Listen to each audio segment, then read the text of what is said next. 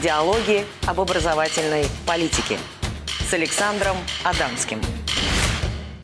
Сегодня в диалогах об образовательной политике мы будем говорить о московской школе. У нас в гостях депутат Московской городской думы, председатель управляющего совета школы 1505 Антон Молев. Диалоги об образовательной политике. Антон Ильич, давайте начнем с денег. Вы недавно обсуждали бюджет Москвы. Ходит так два слуха о московском финансировании московской системы образования. Первый слух, что с такими деньгами любой добьется результатов, а второй противоположный, что финансирование не растет бюджетное, угу. а расходы школ растут. Как, этот, как эти парадоксы можно объяснить? Ну, как и всегда, как мне кажется, если мы говорим о двух крайних по позициям слухах, то истина где-то посередине. С одной стороны, действительно, э, расходы очень значительные. И это принципиальная позиция правительства, поддержанная Московской Думой, и я здесь абсолютно солидарен с этой позицией. Какая общая сумма, можете назвать? Ну, э, если мы говорим о последних, вот, э, последней трехлетке, та, которая будет сейчас несколько модифицирована, то порядка 300 миллиардов – это объем… 300 миллиардов рублей в год? В год, да. Это то, что идет на образование. Там чуть-чуть дифференцируется по программам и статьям, но общий объем примерно такой. Количество этих денег э, растет с каждым годом, но ключевая позиция, которая формирует э, эту цифру, остается неизменной с 2011 года. Это установленный правительством и департаментом образования разработанный норматив финансирования одного ребенка. То есть то, что получает школа, за, за ребенком из Я хотел бы уточнить, этот норматив школа получает напрямую Э, из э, Московского департамента образования. Абсолютно Без верно. всяких, э, так сказать, промежуточных. Совершенно справедливо. И дальше мы позже поговорим о том, как она расходует, да? Конечно. Но конечно. получает пакетом. Да, причем более того, что поменялось за это время с 2011 года. Если раньше этот пакет ограничивался только реализацией государственного задания, то есть, ну, собственно говоря, ключевые расходы, то уже несколько лет как школа получает в этом нормативе, в него зашиты и все э, сопутствующие расходы. Это деньги, необходимые для приобретения учебников, это деньги, заложенные на охрану, на питание и так далее. Коммунальные расходы. Коммунальные расходы. Экскурсии. Да, вот вот все, что в почти в полном объеме, все, что необходимо для функционирования школы, она получает э, и расходует самостоятельно. Ей делегированы в этом смысле и право, и возможность, и, конечно, ответственность. Ну, о философии этого решения можно говорить отдельно, но надо это четко понимать. И в этом смысле сам норматив, вот этот лежащее ядро в середине, не изменилось но увеличивается общий расход в связи с тем, что у нас, слава богу, демографически позитивная ситуация, увеличивается количество дошкольников и, соответственно, чуть позже увеличивается количество и посещающих школы, и значит объем э, ассигнований из бюджета увеличивается. И в этом смысле деньги, э, конечно, как нагрузка на бюджет значимые. Но э, фактически за это время произошло, суще, произошло существенное изменение и зарплат педагогов, и огромные вложения были сделаны в материально-техническую базу при сохранении удельного веса финансирования. И это есть ответы на первый и на второй слух. То есть я хотел бы уточнить э, для наших зрителей. Школы государственные. Конечно. Э, деньги э, школа получает напрямую, без всяких муниципальных фильтров и ну, Москва особый субъект, потому что э, Москва является и субъектом федерации. Да. Тем не менее, раньше были Была совершенно другая система, которая предполагала подчинение школы э, окружному управлению образования. В каждом округе существовала своя дирекция, которая фактически была руками, ногами, отчасти иногда и головой школы в вопросах хозяйственного управления. Существовали э, объединенные бухгалтерии, которые были финансовыми мозгами школы. И школа, что называется, в школе предлагали, обо всем забыв, заниматься только образованием. А как именно это делать с точки зрения технической поддержки, вы, говорите, пожалуйста, сюда не суйтесь, мы, мы за вас все сделаем. И это существенно обременяло бюджет, невероятно раздувало сам штат сотрудников. И главное, что это лишало школу фактической самостоятельности в принятии целого ряда решений. Вот за эти 7, даже 8 уже теперь получается лет произошли существенные изменения. Если мы посмотрим на попытку ответить на вопрос, а откуда, собственно, средства на такое значимое увеличение фактических денег, которые идут а, главному человеку, работающему с ребенком, а именно зарплат педагогов, то это не только большие московские нормативы. Он, он такой же, как был в 2011 году, а зарплата выросла существенно за это время. А это прежде всего экономия на избыточных издержках, да, их исключение. Ну, армия чиновников э, в 2011 году составляла свыше 20 тысяч человек. Сейчас это 3 тысячи. В 7 раз сократилось количество людей, которые были надзирателями, советчиками, проверяющими и так это далее. важнейшая история э, и с точки зрения финансов, но есть еще же и друга, другого сорта экономики, экономия, потому что чем меньше чиновников, тем больше самостоятельности. Чем Конечно. больше самостоятельности, тем более эффективное расходование средств. Поэтому тут еще такая опосредованная экономия. Конечно, и эта э, опосредованная экономия на самом деле может не бросается в глаза, но э, и так не напрямую экономически просчитывается. Но, безусловно, если мы посмотрим на остатки тех средств, которые есть у школ э, в течение года и к концу года, то они очень значительны. Э, были, как только школа получила эту самостоятельность, и связано было с таким, знаете, такими фантомными болями еще из советских времен пришедшими, потому что к концу года нужно было что сделать с бюджетными деньгами? Срочно избавиться. И во многих регионах это продолжается до сих Вот. пор.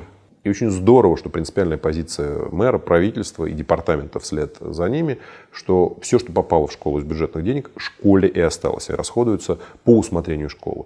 И когда нужно было срочно все это вот куда-то девать, да, это было раньше. Теперь это можно копить, э, во что-то вкладывать, э, развивать материально-техническую базу, разные решения реализовывать, и это на совести школы, и это ее право. И теперь эти ресурсы на самом деле э, позволяют э, школе, что называется, не латать дыры, а реализовывать такое стратегическое управление. Диалоги об образовательной политике с Александром Адамским. Я хочу вас спросить, как образовательного политика.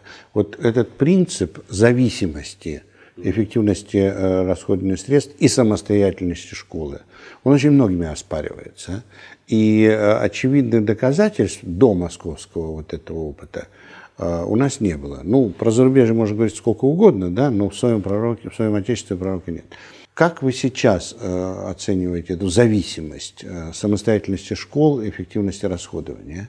Есть прямая зависимость с вашей точки зрения? Между э, эффективностью расходования и э, Самостоятельностью. самостоятельностью школ, ну, конечно. То есть чем мой выше взгляд. самостоятельность, Мгм, Я понял, тем- обратная, да, зависимость, да, то есть зависит от самостоятельной школы, конечно. Ну, смотрите, здесь же ситуация предельно простая. Ведь все, что школа расходует, она вправе распределять, исходя из собственной целесообразности. И если э, школа ну, так криво запланировала какие-нибудь, скажем, ремонты или еще какие-то решения, связанные с эксплуатацией тех зданий, которые есть, а их теперь, как вы понимаете, в крупном комплексе много, то эм, она, значит, не позволит там повысить зарплаты, выплатить премии, решить еще какие-то важные э, насущные проблемы.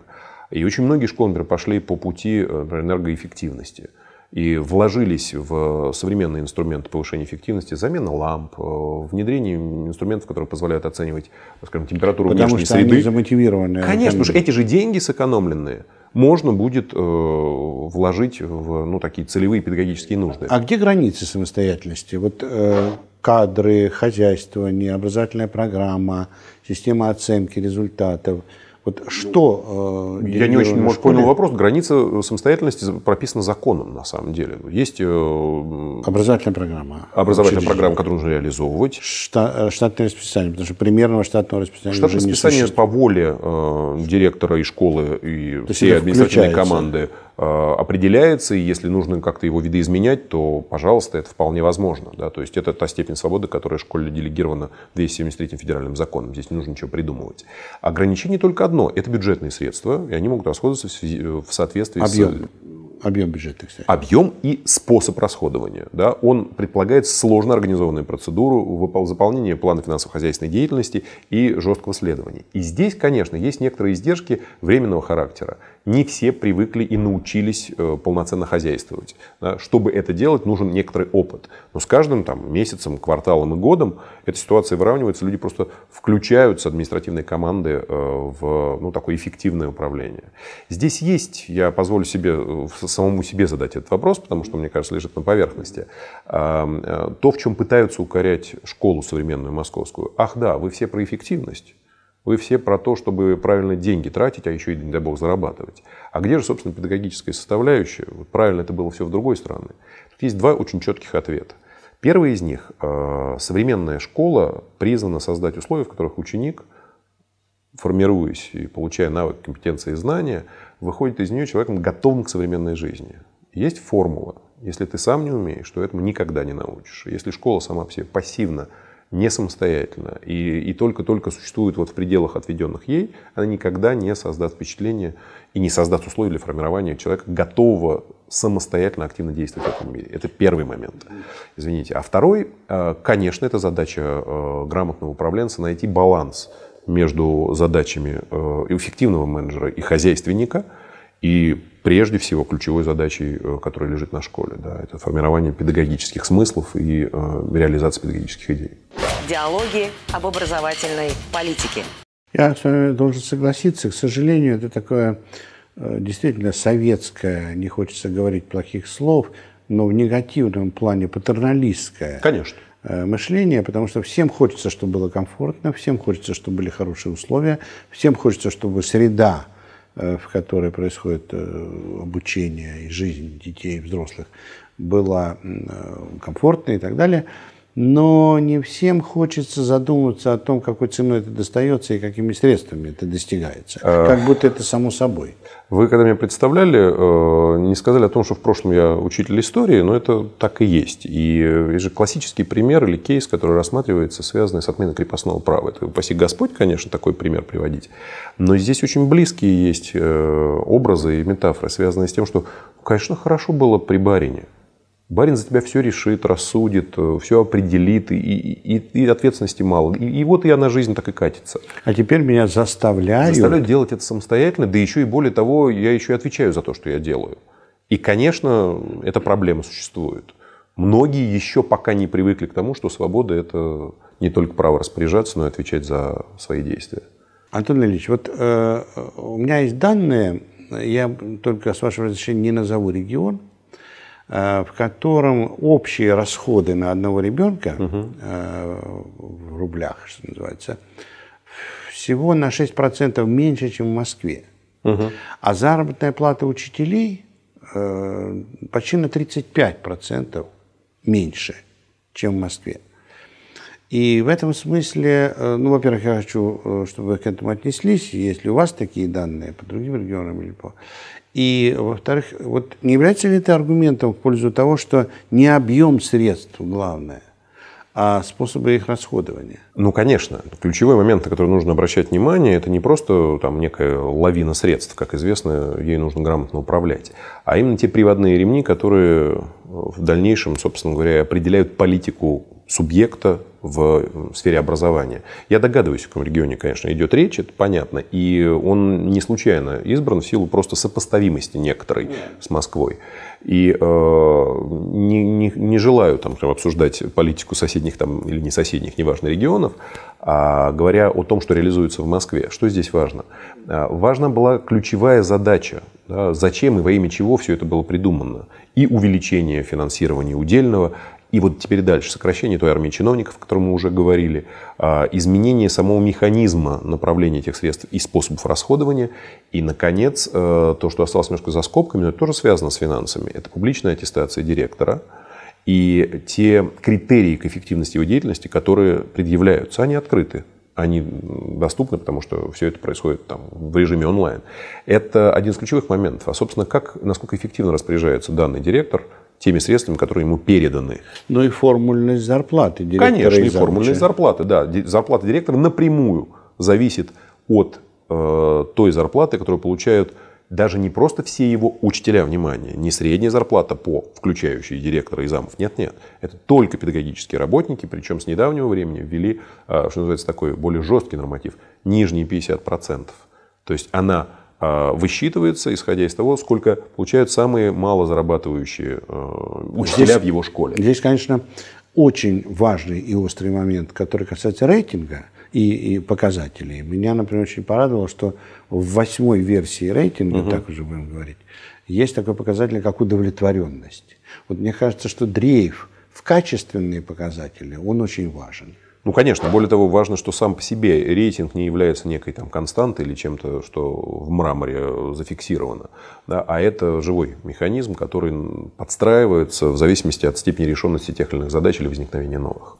Диалоги об образовательной политике с Александром Адамским.